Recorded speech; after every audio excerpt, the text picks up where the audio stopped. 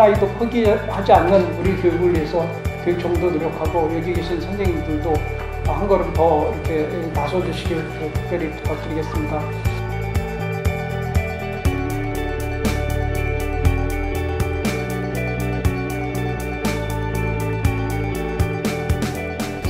ADHD 아이들은 비난을 많이 받아요. 이 아이들도 칭찬받고 싶은데 충분히 잘했을 때 즉각적으로 충분히 칭찬을 해줘요. 이것만 결과죠.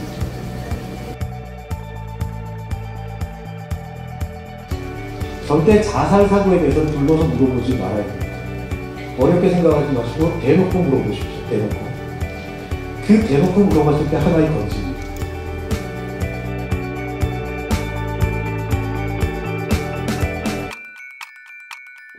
ADHD에서 반드시 기억하셔야 될 부분은 ADHD 자체만으로는 위험하지는 않습니다.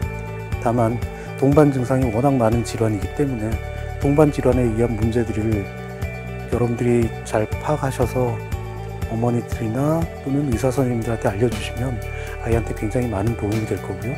어, 혹시나 갖고 계시는 편견이 있다면 그걸 많이 버리시는 게 여러분이 보시는 아이들을 훨씬 더 많이 도와줄 수 있는 방법이란 걸 꼭 기억해 주십시오.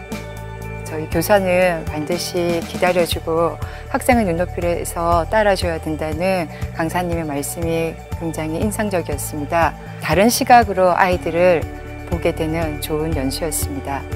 어, 판단하지 말고 진단하지 말고 편견하지 말고 따뜻한 마음으로 조금 바라본다면 아이들이 더 학교 생활을 재밌게 하지 않겠나라는 생각을 많이 가지면서 오늘 연수를 잘 들었습니다.